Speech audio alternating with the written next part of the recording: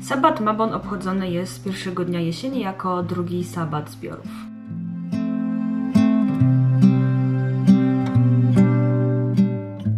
W sumie można by go tak po prostu nazwać jesieniara fest, ponieważ nie przynosi on ze sobą niczego innego niż poprzedni sabat, jest jakby powtórzeniem tamtego sabatu. I w sumie jest po prostu celebracją jesiennego klimatu.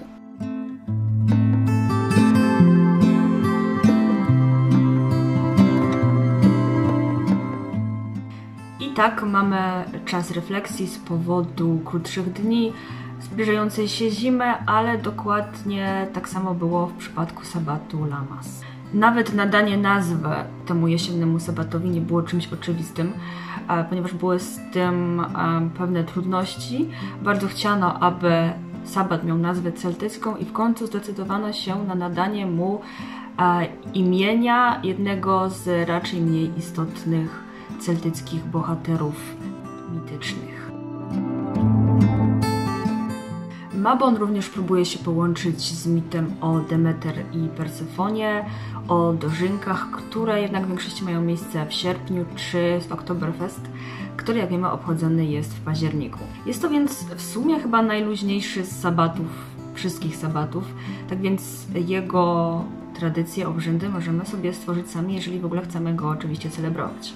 Z sabatem jest co prawda e, związana słomiana lalka, którą wykonywało się w celu konkretnej intencji i taką lalkę przyozdabiało się plonami, jabłkami, orzechami e, czy też wstążkami. E, moją propozycją zamiast zrobienia lalki słomianej byłoby zrobienie słowiańskiej motanki, ponieważ taka lalka również jest wykonywana w konkretnej intencji, na przykład wykonujemy ją prosząc o powiedzmy nową miłość, przyjaciół, nowe znajomości, e, pieniądze, nowe możliwości rozwoju, no cokolwiek nam przyjdzie do głowy. I ja swoją co prawda wykonałam nie przy Małon, ale uważam, że jest to też dobry czas na taką lalkę e, i pewnie bym w ogóle nie wpadła na to, żeby taką lalkę zrobić, gdyby nie fakt, że dostałam jakby zestaw do wykonania motanki własnoręcznie w jednej z paczek była to prawdopodobnie paczka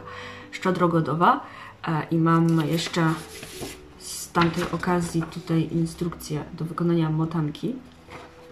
Nie będę przedstawiać całej instrukcji, jak wykonywać motankę, tylko może kilka takich uwag, która jest, e, które są na tej instrukcji. E, to jest to, że motanka nie może mieć twarzy, nie można na niej niczego ciąć, wszelkie materiały, które powstaną, z których powstanie motanka muszą być pocięte wcześniej. E, nie wolno w nią niczego wbijać, e, szpilki żadne, mm, musi mieć ona chustę na głowie e, i wykonujemy ją właśnie w jednej konkretnej intencji.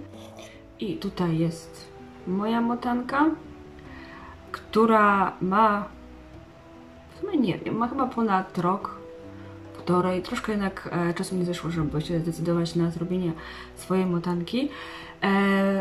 Ogólnie y, motanka ma się niby rozsypać po spełnieniu swojego celu, jednak moja jeszcze się całkiem nieźle trzyma. Jej wykonanie to jednak dużo sznureczków było, bo nie jestem zbyt utalentowana w tej sprawie, więc dużo było wiązania i jakimś cudem ona wygląda całkiem przyzwoicie.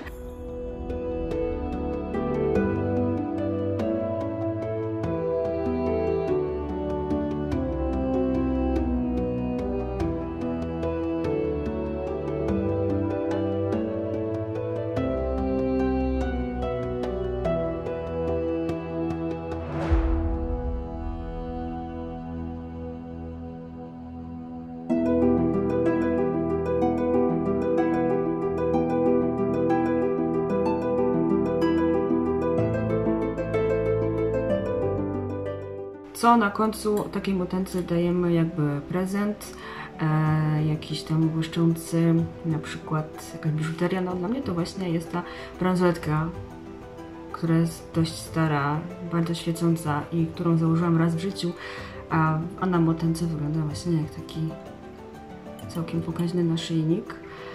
Tak więc póki co jeszcze się nie rozleciała i towarzyszy mi. Oczywiście motanka to nie wszystko, poza motanką można przygotować własne kadzidła, na przykład suszonych pęków ziół. Można zebrać jesienne liście, przygotować z nich wieńce czy też bukiety. Takie wieńce czy bukiety można ustawić na ołtarzyku, jeżeli taki ołtarzyk e, przygotowujemy. Kolejna rzecz to rozpoczęcie dziennika wdzięczności i to uważam, że to jest akurat bardzo e, fajna sprawa, nawet niezależnie od e, sabatu tak ogólnie jest fajnie przygotować taki dziennik wdzięczności, gdzie wypisujemy nie tylko to, za co jesteśmy wdzięczni wobec innych, czy wobec tego, co się wydarzyło, ale też wobec siebie, jeżeli dokonaliśmy na przykład jakichś zmian w życiu, dzięki którym żyje nam się lepiej. To też warto sobie właśnie w takim dzienniku wdzięczności zapisać. Kolejno warto przygotować kosz z plonami, czy też e, róg obfitości, który ustawimy w centralnym miejscu w domu, albo właśnie na tym ołtarzu, jeżeli taki przygotowujemy. Obok tego ofiary dla duchów albo zmarłych z naszej rodziny, na przykład w formie cydru w miseczce, mm, jakichś wypieków, owoców, innych plonów, orzechów. Takie dary stawiamy w podziękowaniu za opiekę i jakby jest to też zadatek na kolejny rok, na dalszą opiekę.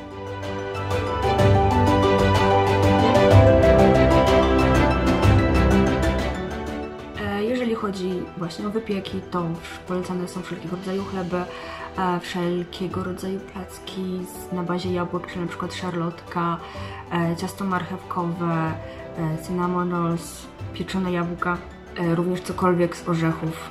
Kolejno dobrze jest przygotować plan, co mamy jeszcze do zrobienia przed rozpoczęciem zimy.